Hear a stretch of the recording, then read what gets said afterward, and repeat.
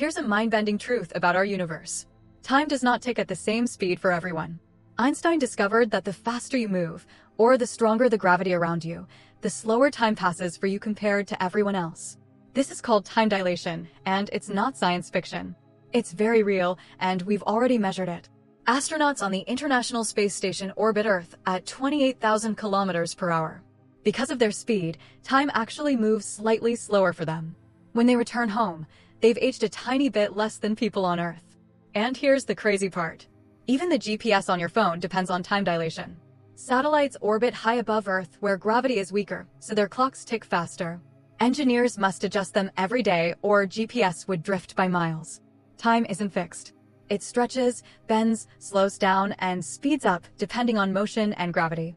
So technically, if you traveled fast enough or close enough to a massive object, you could return home and find everyone else much older than you.